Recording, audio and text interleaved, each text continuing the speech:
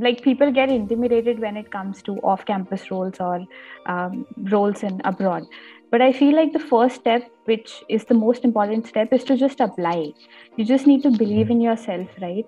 Uh, if you never ask the answer is always no. Basically like they try to understand if you can uh, communicate all these technical aspects to uh, someone who is not from a technical background. Usually i used to send 5 10 connection requests every day and add a little personalized note to it. During the whole interview process, I don't think my college name ever came up. Hey everyone, this is Neelayan, a final year student from IIT Kharagpur. And in this video, I have with us Shubhra Mishra, a batchmate of mine who recently got her internship offer at Facebook Meta London. And that too for a role of a TPM intern, that is a Technical Program Manager intern. Now, Technical Program Manager is a role that is very hot right now, especially because it involves both technical as well as managerial skills. And that is why in this video, Shubhra will be talking about what exactly is this field like? What do facebook look for when they are hiring tpm intern? What was the selection process like? What was the interview process like? And everything about this new field. She's also going to talk about what is the resources that she used what are the different books that she referred to. So without further ado let's just start the video. So hi guys my name is shubhra mishra and i'm a fourth year student at iit kharagpur.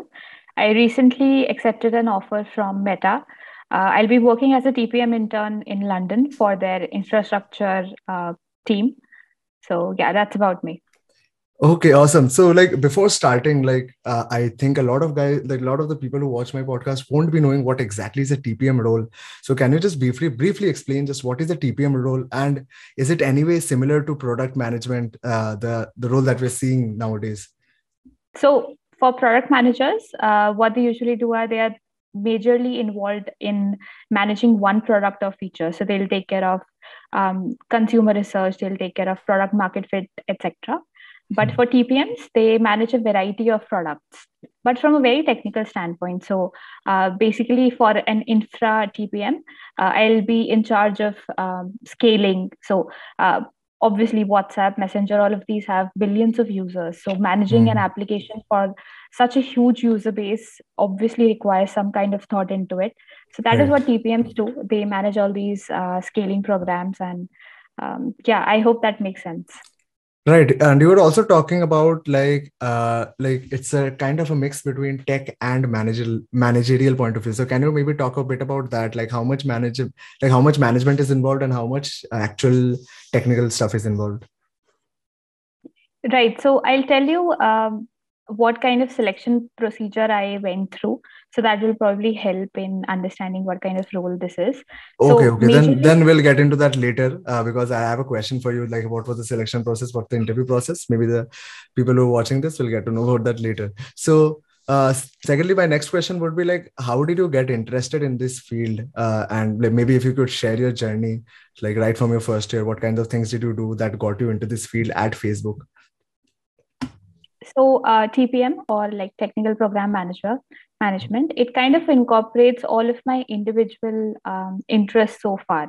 Like in all of my experiences in uh, KGP and in like uh, in my college years, I've always been um, interested in uh, technical projects. So uh, both of my internships that I did were um, as a technical intern. One was as a web development intern. Another was as a product management intern, but both of them heavily involved um, software development in it. So that was something I was always interested in. And uh, coming to the management side of things, like which is also very significant when it comes to uh, the TPM role. In my college years, like I have um, held several PORs and like i was uh, the governor of my um, like of the film club of our college film club and right. these experiences i really enjoyed and during these times i kind of understood that maybe i should go into a field where uh, which will kind of incorporate both of these. And technical program management uh, seemed the perfect fit for me when i like saw the job description for it. Um, so yeah. Okay so now uh, you saw this role. So like how did you apply for this role? Like given it was off campus as well as abroad uh, so that must be interesting for all the people so they can maybe know how to apply for jobs abroad as well especially in facebook so i think there's a lot of um, like people get intimidated when it comes to off campus roles or um, roles in abroad. But i feel like the first step which is the most important step is to just apply. You just need to believe in yourself right? Uh, if you never ask the answer is always no. Um, and for me like i always felt like i can do things and i'll i'll just give it a try because this was my last internship in college right? So if i didn't do it this time i wouldn't be able to do it any other time. So i went through like uh, as a technical person i always wanted to get into FAANG. So this hmm. was like kind of a hobby for me. I used to go through their career uh, website and look right. through all the jobs and that is where i found tpm and so as soon as i read the job description for a tpm i got interested into it. And then i started pinging all these uh, facebook people on linkedin and i got in touch with a few people. I sent my resumes to them. I kind of tried to understand what kind of role this was and if my resume if my profile fit into that. And that is how i you know got much a deeper insight into this role. And and i decided that this is something which will work for me and i applied for it. So yeah. Okay so you directly applied on their uh, career portal and did you take any kind of referral as such so yeah this is something very important i feel uh, mm. if you're like planning to apply uh, off campus it's very important that you get a referral because these companies obviously get a billion uh, applications right. every year and right. if you get a referral you kind of get an edge over these people it's not like if you get a referral you'll get in definitely but it just guarantees that your resume will be seen so when i got in touch with these people on linkedin um, i always used to like ask them what kind of job uh, they were doing and uh, what were their future plans. And usually in that conversation uh, people would like themselves ask me if i needed a referral or i would ask them at the end of the conversation. And that is how it should go. Like i would suggest you not ping people directly and ask for a mm-hmm. referral.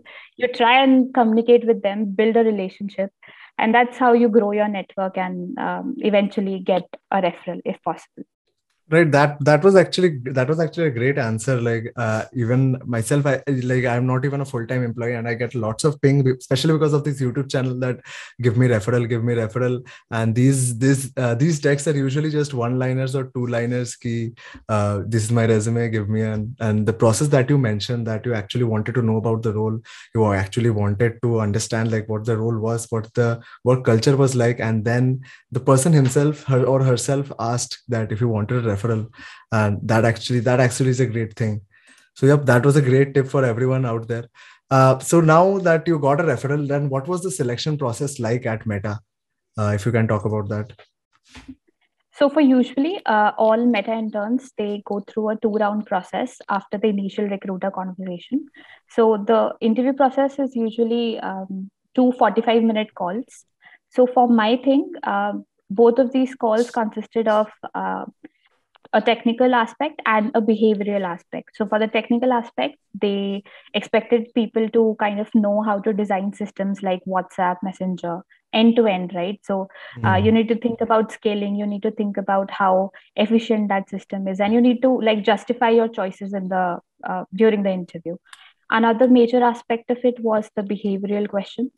So, in that i think i would suggest you just be honest and think about your experiences reflect on them and try to build your answers on that.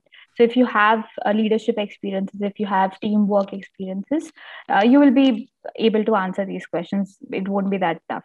So i think majorly uh, for me my focus was on the technical aspect. I because system design was completely new for me. As a fresher you right. don't really put a lot of thought into system design. So right. that was something i did from scratch and I enjoyed it a lot and it was very challenging. But when I got the hang of it, I started designing some systems on my own and then it became pretty fun. So, yeah, that was a general process for the um, interview. Yeah. So, like uh, in both the interviews, it consisted both of like technical and behavioral uh, in the in those forty five minutes only. Right. So, um, like they usually try to keep one full design question, and right. then there are a set of like um, technical question. So you are asked to explain a technical concept like maybe uh, how load balancing works or how how you would scale a system from a few number of users to billions of users. So basically like they try to understand if you can uh, communicate all these technical aspects to uh, someone who is not from a technical background. So they just okay. judge your uh, competence on this um, ground. Yeah. Okay so like can you talk to me about the duration of these like uh, when you applied then how many days later did you get this interview link or maybe the oa link? Like was there any test or online test before these interviews so I would suggest if you want to get into Facebook or Google, you need to have a lot of patience. So right. their process takes a long, long time. And with uh, with me, like my whole process was during the holiday season. So in the United States and in UK, they take this holiday season very seriously. Mm. Uh, so this whole period of Thanksgiving, then Christmas, and all of right. New Year, right. and so the office is completely closed at that time, and it takes a lot mm. of hmm. time so i i think i applied in october i guess and then i heard back after uh, a week later. And then after i got in touch with the recruiter i uh, scheduled the first interview. And the scheduling itself took a lot of time because it was obviously thanksgiving and the holiday season. Right. but between like i think uh, around two to three weeks in scheduling and then two to three weeks between both of these interviews. So all in all it took around uh, around three months for the whole process. So yeah a lot wow. of patience.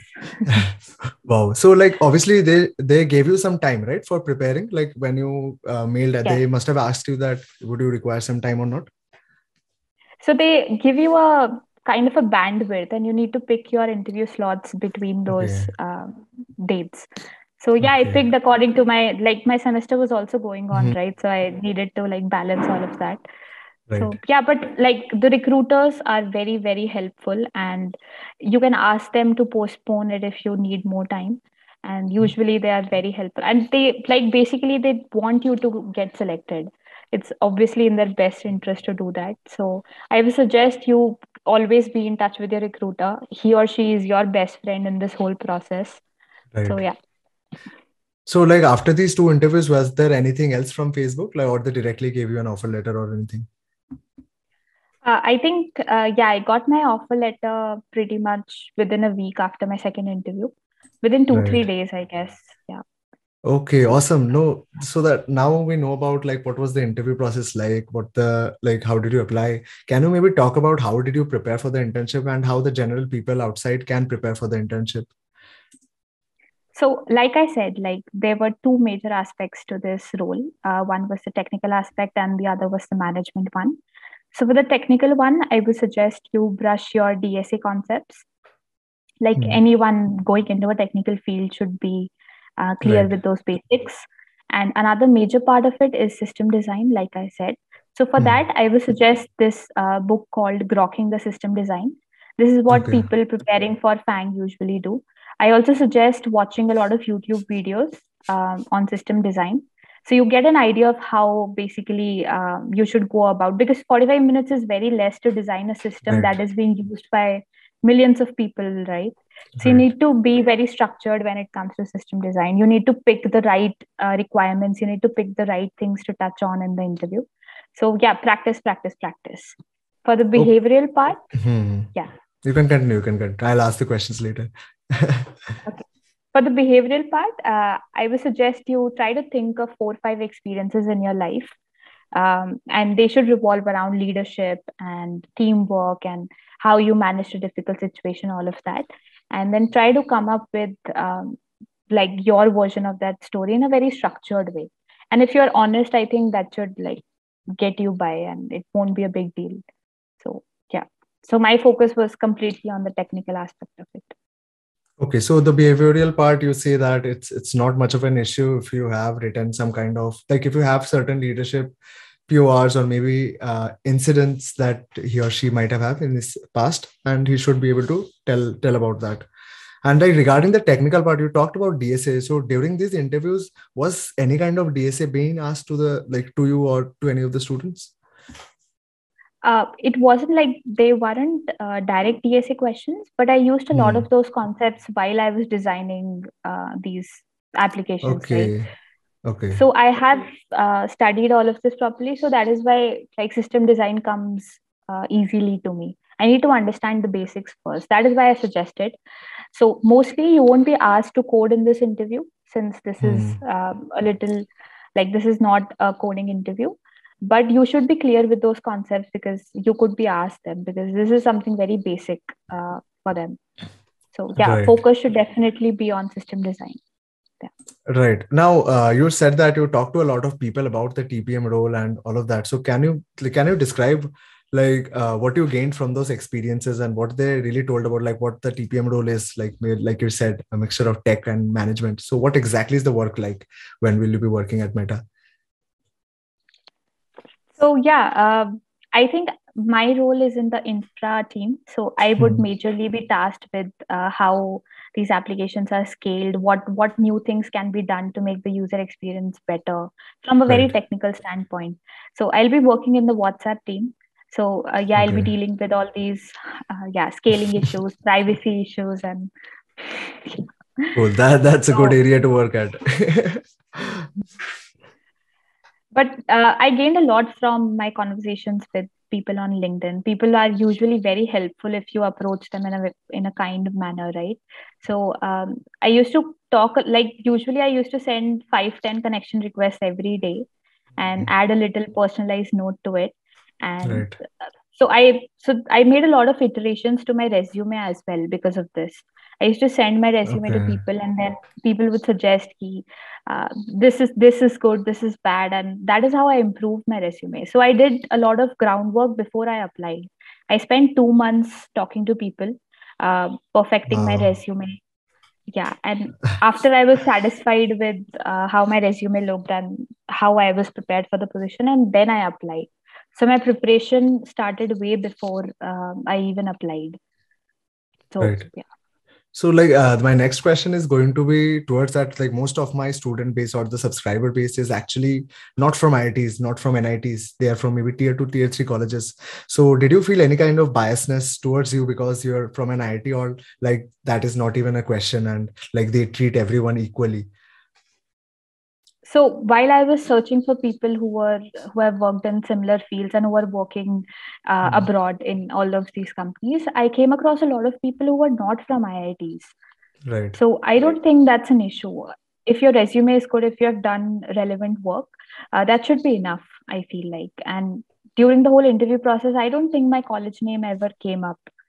So okay.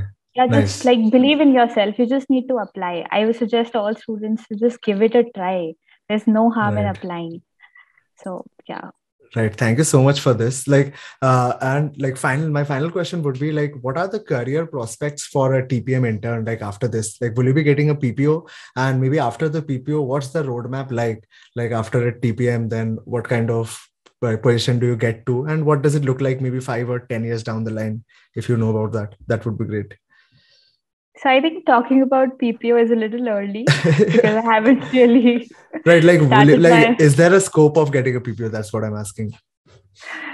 I hope so. I think so. Uh, so, yeah, if I do get a PPO, uh, then TPMs usually uh, like get promoted and be become managers of other TPMs, and they also kind of can transition into adjacent roles like product managers or engineering managers so right. yeah the scope is infinite. Uh, this is a very flexible position. And yeah like there's a lot of scope for growth. All right. So yeah thank you so much shubhra for being here. I think this was extremely this was extremely insightful for all the people out there especially for someone who's got a tpm role at uh, facebook. Uh, i don't I, I don't think i have a, i have had anyone do a podcast on my channel from Facebook yet. So you're the first one from Facebook. So thank you so mm-hmm. much. Uh, and I hope you like this as well. I loved it. You're just very kind, Anand.